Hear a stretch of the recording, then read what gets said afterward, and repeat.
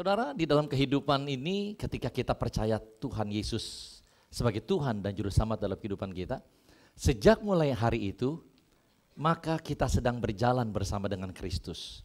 Kehidupan ini menjadi sebuah perjalanan yang baru buat kita. Sejak kita pertama kali terima Tuhan Yesus. Sampai kapan Pak? Sampai nanti. Nantinya kapan Pak? Ya saya sih berdoa pengangkatan terjadi naik ke sorga tanpa melalui kematian. Tetapi kalau seandainya pun harus meninggal, ya nggak apa-apa. Berarti kita berjalan dari sekarang sampai nanti akhir hidupan kita adalah sebuah jernih. Tetapi saya mau memilih jernih kehidupan saya, perjalanan kehidupan saya dari waktu yang dulu sampai nanti akhir, saya memilih perjalanan saya bersama dengan Tuhan Yesus. Amin saudara? Ya walaupun di dalam kehidupan ada badai, ada persoalan, ada tantangan. Tetapi saya percaya ketika perjalanan hidup saya bersama dengan Tuhan Yesus. Firman Tuhan Mazmur 23 bilang begini. Sekalipun aku dalam lembah kekelaman, Tuhan bersama dengan aku. Perjalanan bersama Yesus ujungnya itu indah Bapak Ibu. Baik indah di bumi maupun indah di sorga. Betul gak? Firman Tuhan berkata, dia menuntun kita sekalipun dalam kekelaman, tujuannya adalah membawa kita padang rumput yang hijau dan ke air yang tenang. Bilang kiri kanan, tenang. Dari wajah saudara ngomong tenang aja kelihatannya tenang banget gitu saudara. Ya. Oke, nah saudara yang dikasih Tuhan Yesus, oleh karena itu hari ini saya mau ajak kita untuk sama-sama untuk mengikut Kristus dengan setia. Setuju enggak? Untuk ikut Kristus dengan setia. Siapa Pak? Semuanya kita. Kita ikut Kristus bukan hanya dulu, bukan hanya hari ini, tetapi juga sampai terus akhir. Setuju enggak? Judul hari ini adalah mengenai pengikut Kristus. Judulnya adalah pengikut Kristus. Nah, saya akan mulai masuk pada uh, sesuai dengan judul khotbah hari ini. Saudara, sebagaimana kita ikut Tuhan Yesus, dulu pun juga banyak orang-orang ikut Tuhan Yesus. Ya, berbondong-bondong katanya bilang begitu ya. Banyak yang ikut Tuhan Yesus. Tuhan Yesus pergi ke mana mereka ikut saudara. Saudara, tetapi sayangnya ternyata di dalam kumpulan yang banyak daripada orang yang ikut Tuhan Yesus itu, itu berbagai macam alasan juga mereka ikut. Emang iya Pak? Iya. Banyak alasannya. Ada orang-orang yang ikut Yesus pada saat waktu itu. Aduh Bapak Ibu, saya yakin di sini sih nggak ada. Ikut Tuhan Yesus, ngapain? Ngamat-ngamatin cari kesalahan Tuhan Yesus. Nih Tuhan Yesus ngapain nih? Nah salah, gitu. Ya ampun. Di sini mah nggak ada kan ya? Nggak ada. Tapi dulu ada yang saya sebut dengan kelompok pengikut haters. Oh Pak emang iya. Nah kita lihat coba ya. Di dalam firman Tuhan. Lukas 6 ayat yang ketujuh. Ahli-ahli Taurat dan orang-orang Farisi mengamat-ngamati Yesus. Mengamat-ngamati. Kalau-kalau ia menyembuhkan orang pada hari sabat. Supaya mereka dapat alasan untuk Duh, ilah mempersalahkan Yesus. Pertanyaannya nih, zaman sekarang di sini sih nggak ada. Di sono sini ada, eh sono sini berarti di sini juga ya. Di sono sono ada nggak? Ada nggak kelompok pengikut haters? Kok bisa tahu ada? Dari mana? Iya ada. Datang ke gereja, emang sih dengerin firman juga, tetapi yang dilakukan apa? Ngamat-ngamatin kesalahan. WL nyanyinya tadi fals. Pemain keyboard kurang satu not. Gitu saudara. Wih, kayak gitu. Pengkhotbah lihat pakai jas tapi nggak pakai dasi. Kurang sopan gitu. Di sini sih nggak ada. Tetapi ada yang kayak gitu. Datang gini ngamat-ngamatin. Asyirnya kurang senyum. Senyum sih senyum, tapi sinis senyumnya. Wih, sampai bingung Asyir juga mau salah mau mau ketawa juga kan gitu. Ada nggak kayak gitu? Ada nggak orang ikut follow pendeta, ikut follow pendeta, tujuannya cari kesalahannya. Ketika pendeta itu posting, ting, ngomong apa dia? Nuh, salah, di capture, disebar mana-mana. Yang kedua adalah kelompok pengikut apa? Berkat. Ikut Yesus ngapain? Cari berkat, cari pertolongan, cari kesembuhan. Coba kita lihat firman Tuhannya Lukas pasal 5 ayat 15 nih.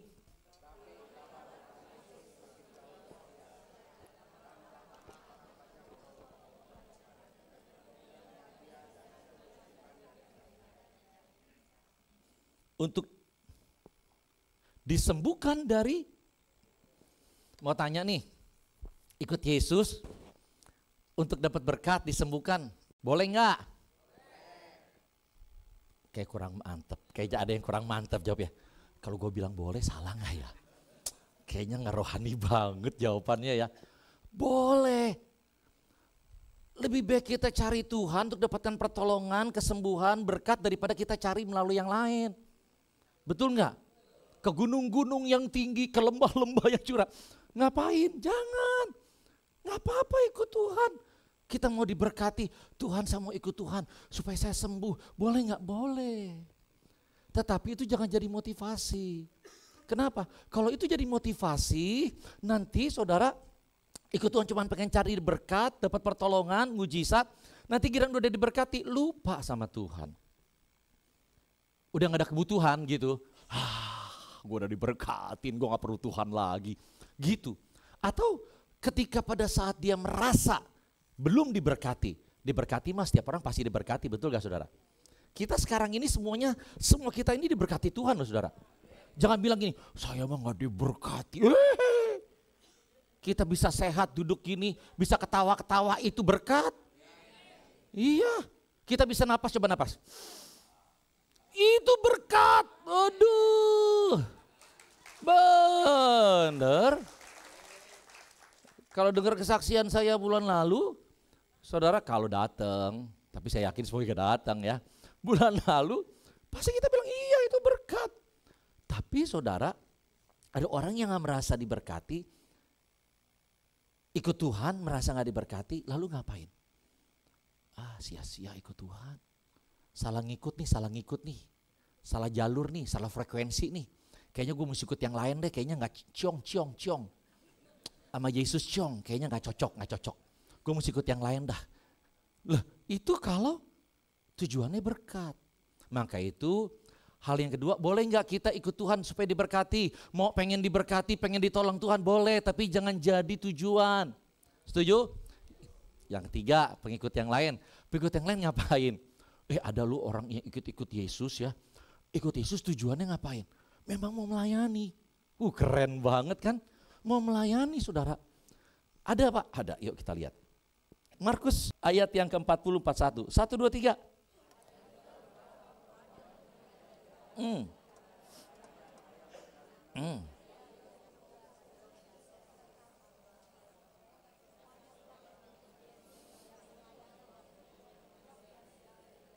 Hmm.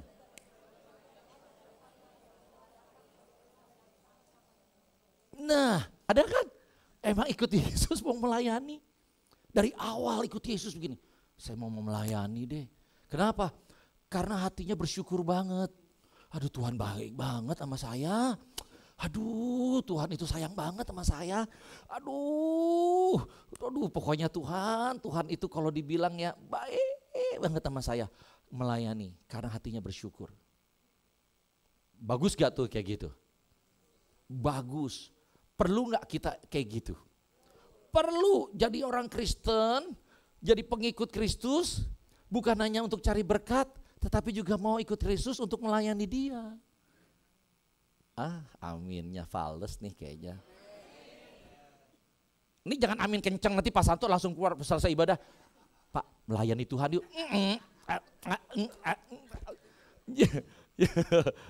Oke saudara, nah ini pesan juga buat yang sudah melayani. Terkadang sometimes gini, orang yang sudah melayani terkadang fokusnya bergeser. Nah, Bergesernya bagaimana? Tadinya kan melayani untuk rasa syukur, melayani untuk kepentingannya Tuhan, untuk melayani Tuhan, betul gak? Betul ya? Awalnya melayani Tuhan mulai bergeser jadi melayani diri sendiri. Awalnya melayani untuk kemuliaan Allah, sekarang melayani untuk kemuliaan diri sendiri. Maksudnya apa Pak? Maksudnya begini, tadinya melayani untuk untuk untuk kemuliaan Tuhan, melayani ya fokusnya untuk Tuhan, sekarang untuk melayani diri sendiri, kepentingan diri sendiri, untuk kemuliaan diri sendiri, artinya begini, ketahuannya gini. Ketika tidak ada fasilitas di dalam pelayanan, jadi kecewa. Ketika tidak ada yang namanya uh, kepenuhan keinginan dipenuhi. Saya mau pengennya begini, kalau pelayanan, saya pengennya ya dalam pelayanan mestinya ada ini, ada ini, ada ini dong. Tetapi ketika keinginan tidak terpenuhi, apa yang terjadi? Ngambek kecewa. Apa sih di gereja sono tuh? Oh, fasilitasnya banyak. Kalau pelayanan, oh, saya nggak sebut apa lah. Nggak ada gunanya karena itu nggak ada yang di sini sih sebetulnya. Maka itu tadi saya cuma mengingatkan. Ini bukan teguran, namanya juga mengingatkan arti mengingatkan yang nggak ada di sini nih. Jadi diingatkan aja, jangan sampai begitu. Ketika ada gesekan, ada gesekan dalam pelayanan. Uh, apa? Saya nggak dihargai. Saya nggak dimanusiakan. Saya mau lagi pelayanan di sini. Bahkan ada yang sampai bukan hanya berhenti pelayanan, sampai jadi berhenti jadi orang Kristen. Iya, iya. Bilang gini, udah dah pokoknya gue udah gak mau jadi orang Kristen lagi dah. Kenapa? Kekecewaan yang berujung kepada kepahitan. Dia tinggalin Tuhan. Bilang kiri kanannya, kamu sudah melayani, jangan kayak gitu ya. Kamu belum melayani, nanti melayani ya. Bilang kayak gitu saudara ya. Satu, dua, tiga kalau kita fokus, kalau kita dalam melayani Tuhan, terus cek setiap hari fokus kita. Fokusnya kita cek setiap hari.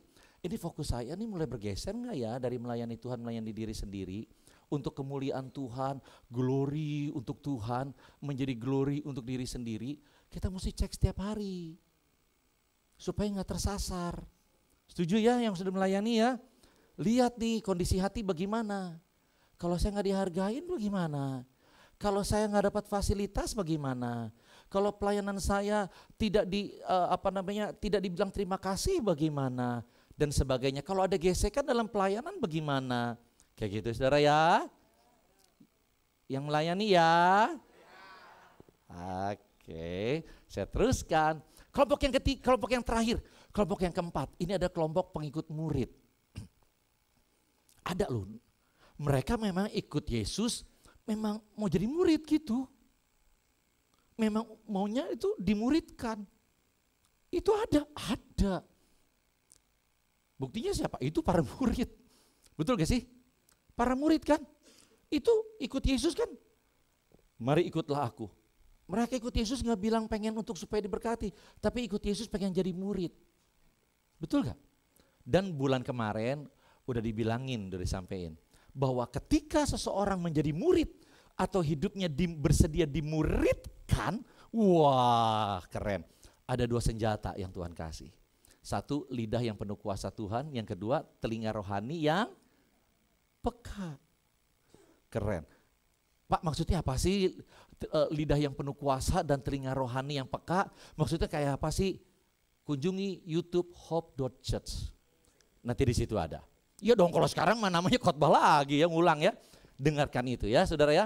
Nah ternyata saudara ketika seorang menjadi murid ikut Yesus untuk menjadi murid bersedia dimuridkan maka kehidupannya diperlengkapi dengan senjata daripada Tuhan. Yang kedua adalah gini dapat privilege dari Tuhan. Pak privilege-nya apa emang? Ih, saudara inget gak 5 ribu orang laki-laki tidak termasuk perempuan dan anak-anak pada saat dikasih makan, yang mereka dapetin apa? Kenyang. Betul gak? Dikasih makan, kenyang. Tapi murid-murid kenyang juga gak? Kenyang, wah masa murid-murid kagak makan, makan. Kenyang juga murid-murid. Lalu setelah kenyang, bukan hanya cuma kenyang, dapat masing-masing satu bakul roti. Ekstra. Apakah lima ribu yang lain dapat satu bakul masing-masing satu bakul? Yang dapat siapa? Murid. Pada saat Yesus memberitakan firman, eh, memberitakan, eh, pada saat Yesus berkhotbah maksudnya. Pada saat Yesus berkhotbah, orang banyak yang dapetin apanya? Perumpamaan. Betul nggak? Orang banyak cuma dapetin perumpamaan. Tetapi murid-murid dapetin apa? Pewahyuan. Murid-murid dapat pengertian yang lebih dalam. Murid-murid dapat pengajaran lebih dalam. Murid-murid dapat didapat dapat uh, tuntunan yang lebih kuat dalam kehidupan mereka. Aduh, butuh nggak sih kita kita jalan hidup ini kita punya pengertian mesti bagaimana? Butuh nggak sih? Jadi murid. Dan yang lain, yang jadi murid saudara. Pada saat jadi murid saudara, kita lihat orang-orang yang radikal, orang-orang yang tetap ikut Yesus sekalipun di tengah penderitaan, sekalipun di tengah aniaya, itu murid-murid saudara.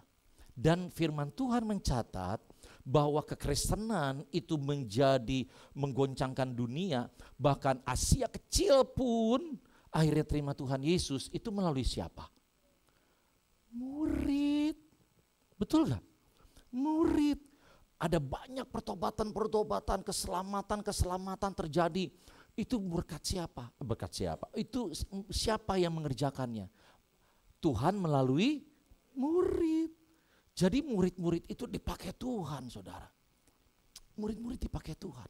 Dan murid-murid adalah orang-orang yang yang bisa setia sampai akhir. Ya orang-orang yang gini, sekalipun di tengah-tengah penderitaan, di tengah aniaya, mereka bisa tetap percaya Yesus adalah Tuhan, tetap setia sama Tuhan sampai akhir gitu loh. Itu siapa? Murid. Yang lain pengikut bagaimana? Pengikut yang bukan murid. Firman Tuhan bilang kayak gini, ketika Yesus ngomong keras nih, Yesus perkataannya keras sedikit aja kayak gitu. Keras dikatakan begini, semua orang ninggalin Yesus. Betul gak sih? Yang tetap stay siapa? Murid. Ketika mungkin Tuhan Yesus berkata begini kan, siapa yang mau ikut aku? Pikul salib, sangkal diri. Pada bilang ini, ha? Apalagi yang Kristen mau cari berkat tadi itu.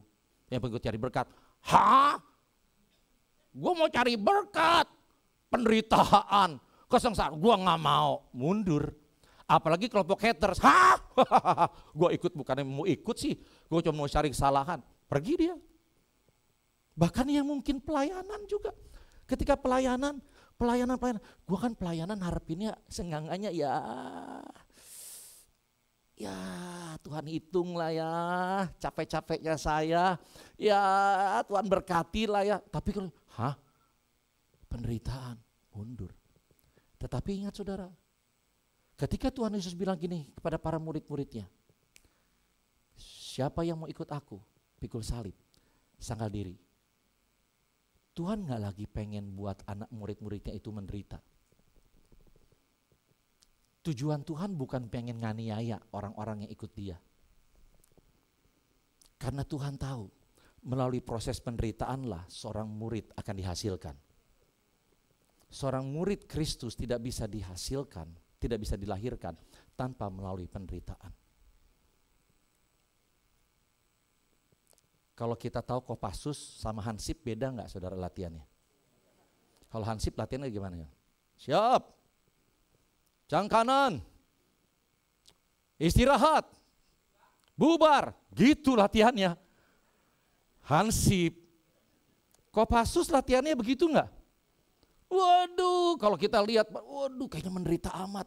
Kita bilang kayak gini, ya ampun dianiaya itu orang.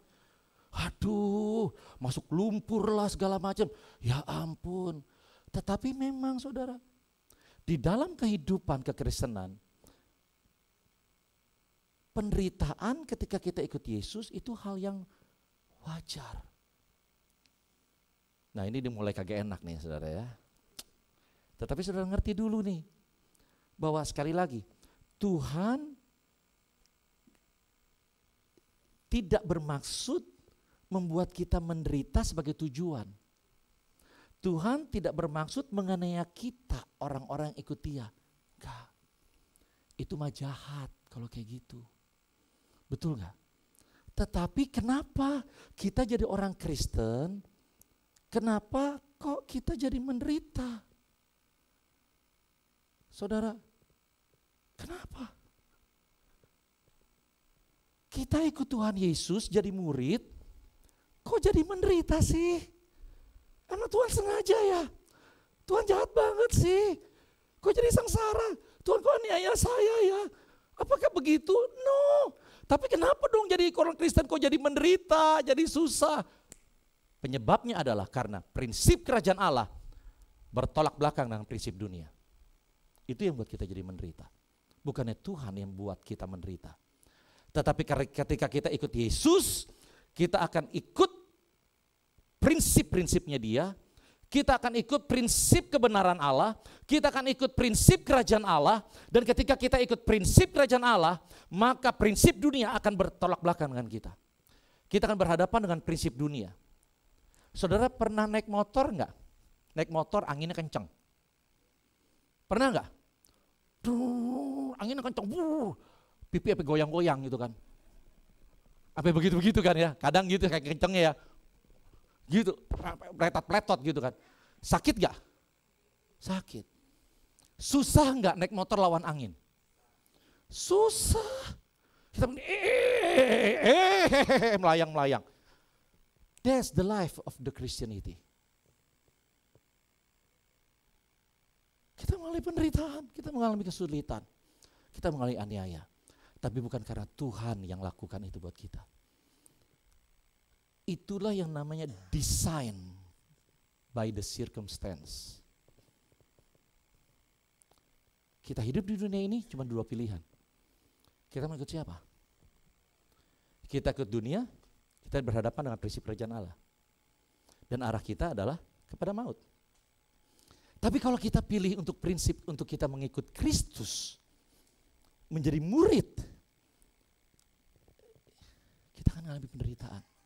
Eh ngomong-ngomong saudara ya, bicara penderitaan nih ya, bicara kesengsaraan ya.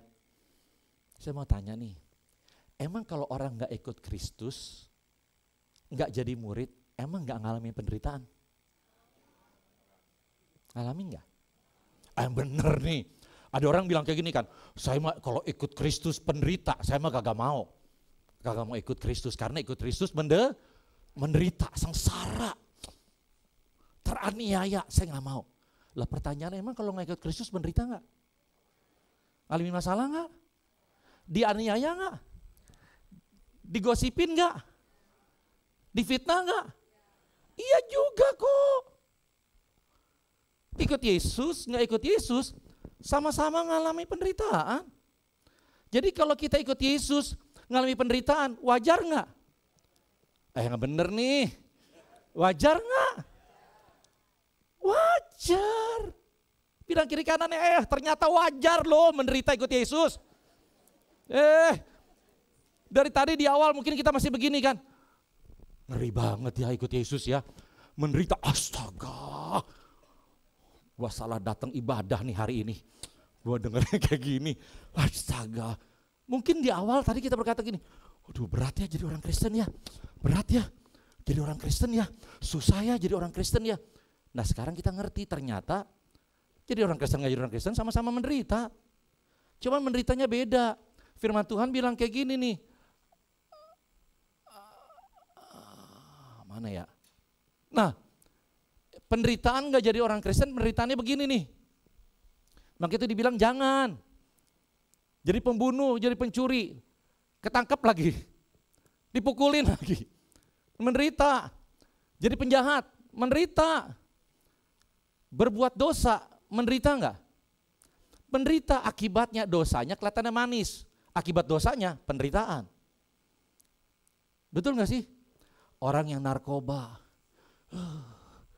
coba, misal, misalnya dia selamat nih, kagak mati. Misalnya nih, misalnya dampak dari narkobanya, pengaruh syarafnya lah lemah, jantungnya lah bermasalah, ginjalnya lah masalah. Betul gak sih saudara? Dampak daripada dosa juga memang masalah, penderitaan. Ada orang bilang kayak gini, iya ya, gua sekarang nih badan gua kayaknya pada begini nih gara-gara dulu nih gua nih. Gara-gara gua kayak gini nih, gua hidupnya nggak bener nih. Lah, itu sih sometimes itu terjadi, betul gak saudara? Si hari ini saya mau ajak kita sama-sama, jangan. Tapi kalau kita menderita, biar kita menderita karena kita ikut Yesus. Penderitaan kita karena kita pikul salib. Saudara, firman Tuhan dari tadi berkata begini nih. 2 Timotius 3 12. Ini ayat-ayat yang meneguhkan bahwa memang jadi orang Kristen itu memang pasti kok penderita. Memang setiap orang yang mau hidup beribadah dalam Kristus Yesus akan menderita aniaya. Iya, memang. Kenapa aniayanya? Tadi sudah jelasin ya. Karena hidup kita berlawanan dengan prinsip dunia. Dalam dunia kamu menderita penganiayaan tetapi kuatkan hatimu, aku telah mengalahkan dunia. Ini kabar baiknya. Kabar baiknya sekalipun kita menderita, ngelawan arus nih, ketika kita mengelawan prinsip dunia, ketika kita menderita, ketika kita dianiaya, Tuhan Yesus bilang kayak gini, jangan takut, aku telah menang, kamu juga pasti menang. Aku akan berikan kekuatan kepadamu. Kita bisa untuk pikul salib, kita bisa untuk sangkal diri. Matius 16 ayat 24. Lalu Yesus berkata kepada murid-muridnya, setiap orang yang mengikut aku, ia harus menyangkal dirinya, memikul salibnya dan mengikut aku. Jadi saudara, kalau kita sampai menderita di dalam perjalanan hidup kita bersama dengan Kristus, menderitalah karena kita pikul salib. Bukan karena kebodohan kita. Menderitalah karena kita menyangkal diri. Bukan karena kejahatan yang kita lakukan. Setuju saudara?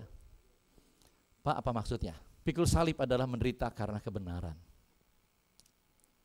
Saudara dikatain bodoh karena saudara nggak mau korupsi. Saudara dikatai pengecut sama orang karena saudara memilih untuk mengampuni kesalahan orang. Saudara tidak balas. Saudara dikatain pengecut. Saudara dikatai orang lemah. Kenapa? Karena ketika kita taat, kita memilih untuk taat. Apa yang Tuhan katakan, bukan apa yang dunia suruh untuk kita lakukan. Kita dikatain orang lemah. Kita dikatain orang kuper. Ketika kita nggak mau untuk ikut ajakan pergi ke dugem. Lu kurang pergaulan. Biarin, nggak apa-apa. Itu penderitaan. Nggak apa-apa. Ketika kita disalah sangka ketika kita berbuat baik sama orang kita berbuat sama orang baik, orang lain salah sangka sama kita. Lalu malah dia jadi musuhin kita. Tidak apa-apa. Itu proses daripada yang namanya pikul salib. Kita dihina, kita dihianati, kita disakiti, bukan karena kita melakukan yang salah, tapi karena kita memuridkan orang lain memuridkan orang itu gampang nggak saudara? Nggak gampang. Nah itu kalau saudara dimuridkan di dalam life, tolonglah para pemurid. Karena untuk memuridkan itu nggak gampang. Kenapa saudara? Ketika mereka memuridkan, mereka harus kasih nasihat sama saudara. Mereka harus kasih koreksi sama saudara. Mereka harus menegur saudara. Dan orang yang namanya dinasehati kuping panas. Dia namanya ditegur, apalagi kuping lebih panas, hati panas, tambah. Betul nggak sih saudara? Dikoreksi orang gak ada yang suka. Gak ada yang suka. Dan responnya apa yang terjadi? Dimusuhin kadang-kadang. Tapi itulah salib. Amin. ikut Kristus kayak gitu. Penderitaannya mesti kayak gitu. Bukan karena penderitaan ditangkap masuk penjara gara-gara mencuri. Bukan. Lalu gara-gara ngegosipin orang ketahuan dipukul. Bonyok lalu bilang ini salib Kristus. Bukan. Bukan. Jangan salah, kadang-kadang orang ngalamin sesuatu aja yang jelek. Ini salib, ini salib salib. Uh, salibnya banyak. Tapi ya kita ngerti sekarang. Setuju saudara? Ketika saudara dimusuhin, ketika saudara ikut Yesus, bahkan mungkin saudara dijauhin sama keluarga. Dia bukan dia bukan kita lagi. Saudara diasingkan karena ikut Yesus. Tadinya enggak, sekarang ikut Yesus diasingkan. Ya nggak apa-apa. Itu salib. Saudara, lalu apa lagi? Ini. Sangkal diri. Sangkal diri itu apa? Sangkal diri adalah begini. Saudara bisa balas dendam dan saudara ingin balas dendam, tapi pada saat waktu itu saudara memilih untuk berkata, enggak, saya nggak mau melakukan itu. Itu sangkal diri. Kalau saudara dihina orang, lalu saudara tidak balas karena saudara tidak punya kemampuan untuk membalas, itu bukan sangkal diri. Tetapi saudara disakitin orang, saudara bisa balas nyakitin, dan saudara mau balas nyakitin, tapi saudara berkata, no, stop, saya nggak mau lakukan. Itu sangkal diri. Ketika saudara dimaki-maki orang, ketika saudara dihina orang, saudara bisa balas maki-maki yang lebih jahat lagi, saudara punya keinginan untuk balas maki-maki lagi, tapi saudara berkata, no, saya nggak mau lakukan. Itu sangkal diri. Itu yang Tuhan mau. Itu menderita nggak saudara? Pengen sesuatu, mau sesuatu, tetapi nggak dapat.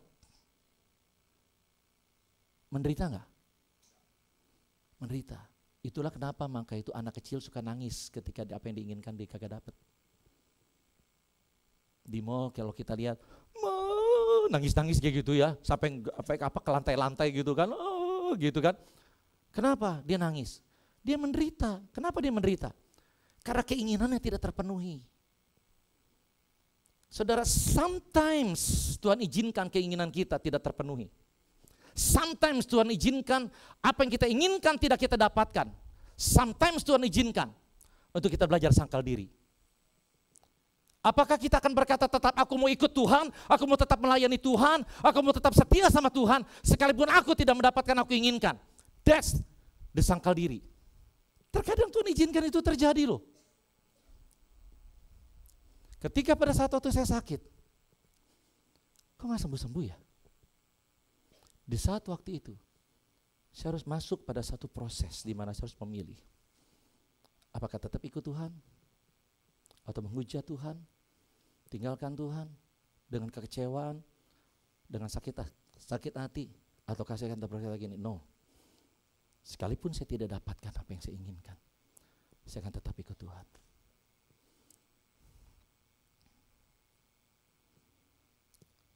Saudara, di hari-hari ini, tolong dengar baik. Di hari-hari ini, entah sekarang, entah besok, entah minggu depan, entah bulan depan, entah tahun depan, saya tidak tahu. Tolong dengar baik. Akan ada satu saat masa, ini akan setiap orang akan ngalamin. Tidak bisa enggak. Setiap orang pengikut Kristus. Ada satu masa di mana saudara akan diperhadapkan dengan suatu situasi, di mana saudara tidak bisa menghindar. Saudara harus memilih ikut Yesus, sangkal Yesus. Setia sama Yesus atau jual Yesus. Akan ada saat di masa itu terjadi. Kalau mungkin sebelumnya saudara bisa menghindar dari itu. Saudara lari ketika diperhadapkan dengan pilihan itu. Saudara lari itu, saudara menghindar masih bisa. Akan ada satu masa dalam kehidupan saudara, dead saudara nggak bisa lari lagi. Iblis bilang kayak gini, oke okay, stop, lu mesti pilih, mau ikut gua atau mau ikut Tuhan. Akan ada saatnya seperti itu. Dan kalau hari ini kita nggak ngerti jadi orang Kristen, bahwa penderitaan adalah hal yang wajar dalam kekristenan ketika ikut Yesus. Kalau kita terus hanya punya pemikiran ikut Yesus adalah berkat, ikut Yesus adalah keuntungan, ikut Yesus adalah kenyamanan, maka pada saat waktu kita ada sebuah pilihan harus memilih, kita nggak siap untuk memilih penderitaan kita akan menjadi orang yang sangkal Yesus. Kita akan jual Yesus. Hari ini pesan firmannya adalah ini intinya. Pesan firman hari ini adalah ini. Tuhan mau kita dipersiapkan. Entah sekarang, besok, minggu depan, bulan depan, tahun depan, kita menjadi orang-orang pengikut Kristus karena kita adalah murid. Kita akan menjadi orang berkata, no, apa pun yang terjadi, sekalipun menderita, saya tahu penderitaan ini bukan karena saya salah. Tapi ini pikul salib saya. Ini adalah sangkal dirinya saya. Saya tahu saya menderita. Saya tahu menderita bukan karena Tuhan bikin saya menderita. Tapi kalau saya menderita, teraniaya karena saya hidup berlawanan dengan dengan prinsip dunia. Saya sedang hidupi prinsip kerajaan Allah. Kita tahu penderitaan itu asalnya dari mana. Dan kita tahu penderitaan itu membawa kita ke mana. Kita akan setia sama Tuhan. Yang pertama bagaimana kita bisa pikul salib. Kita rela sangkal diri. Kita rela menderita.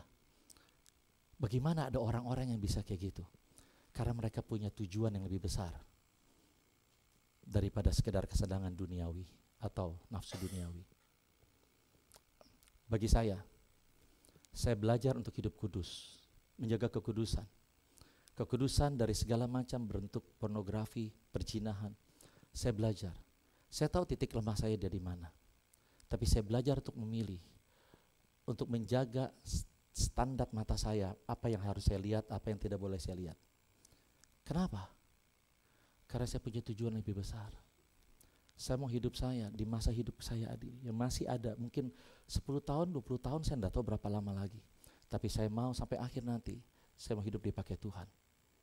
Saya ingin berbuah dengan lebat. Saya ingin hidup melayani Tuhan. Saudara, ada orang-orang yang berkata gini, saya nggak mau selingkuh. Saya nggak mau selingkuh. Saya nggak mau hidup di dalam perselingkuhan dalam pernikahan. Ada orang-orang berkata gitu. Kenapa? Karena mereka tahu di dalam perselingkuhan ada yang namanya kenikmatan, ada hawa nafsu, ada kesenangan. Tetapi mereka berkata, no saya tidak mau selingkuh. Kenapa? Karena saya punya tujuan lebih besar. Saya mau punya anak-anak yang bukan broken home, tapi anak-anak yang cinta Tuhan. Anak-anak saya diberkati Tuhan. Gitu saudara. Ada orang-orang begitu. Mereka berkata, enggak, enggak, saya mau hidup benar. Saya mau hidup benar, kenapa? Tujuannya bukan hanya untuk diri dia, Bukan cuma supaya dia berkati, no, no, no. Tujuannya adalah karena saya mau melihat anak-anak saya takut Tuhan. Mereka lihat contoh dari kehidupan saya. That's tujuan. Saudara harus punya tujuan. Punya tujuan yang lebih besar. Kalau saudara nggak punya tujuan yang lebih besar dari segala kesenangan dunia, hawa nafsu duniawi, kita nggak bisa. Yang selanjutnya, dan ini yang mungkin memiliki hubungan erat dengan Tuhan.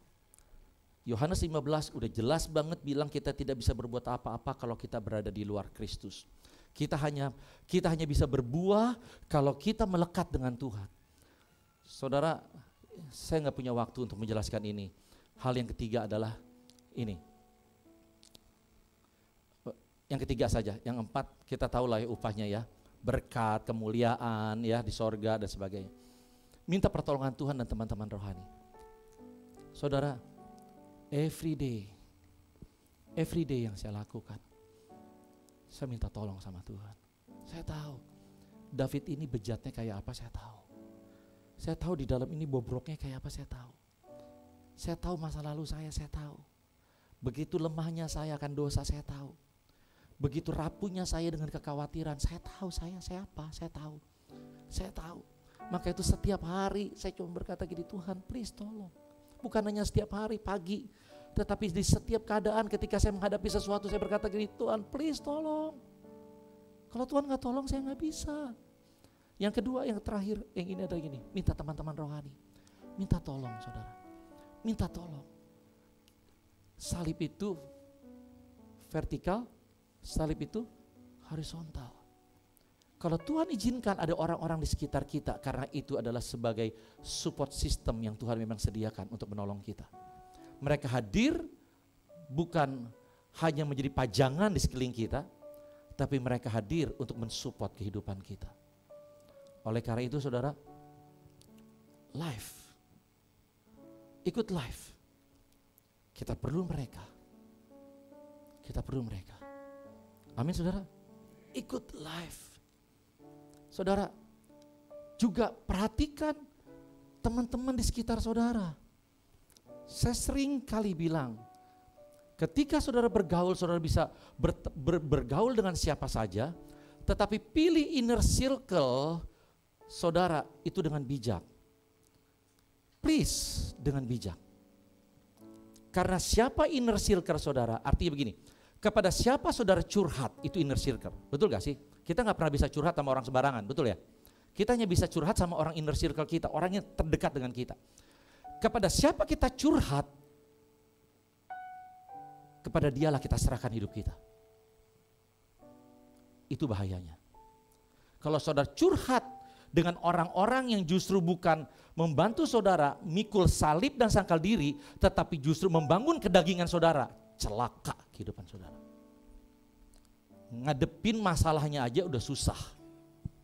Betul gak?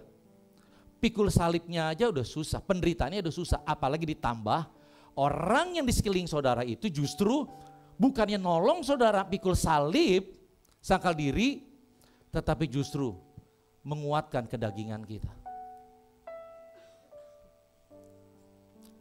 Bijaklah dengan hal itu. Bergaul dengan siapa pun. Tetapi jangan jadikan orang-orang yang justru membangun kedagingan saudara, itu yang saudara jadikan inner circle. Tetapi enak ya sih kadang-kadang orang yang membangun kedagingan itu, kalau berteman, kalau ngobrol sama dia, enak, nyaman saudara. Kenapa? Karena kedagingan saudara terpuaskan.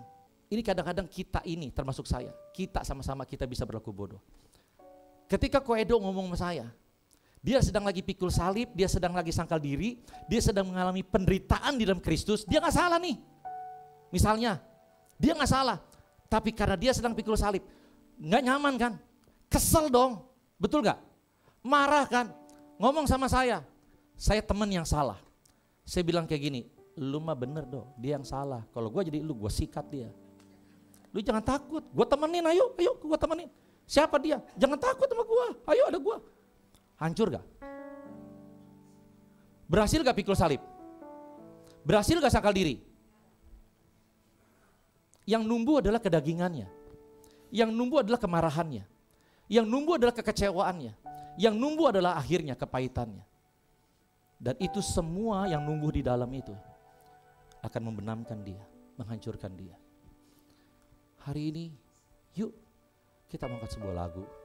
Kalau kita sudah putuskan Yesus dalam kehidupan kita, ikut Yesus sampai selamanya. Kalau kita pernah lakukan, kita tinggalkan dunia di belakang kita. Dan kita berjalan maju bersama dengan Tuhan. Untuk pikul salib, untuk sangkal diri. Jangan pernah berhenti. Terus berjalan terus melangkah. Karena kita tahu waktunya gak lama lagi.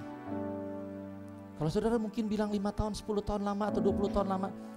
Tetapi di mata Tuhan waktu itu cepat banget. Saudara sekarang udah bulan berapa? Bulan Oktober. Sepertinya kayak baru bulan baru belum lama kita tahun baruan.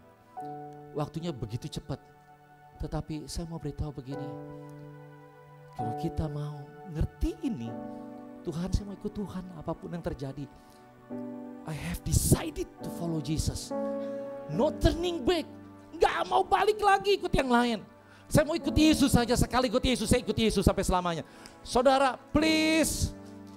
Ketika kita lakukan itu, kita bukan menjadi orang yang menjadi murid, tetapi kita menjadi orang yang akan mengalami kemuliaan Tuhan dalam hidup.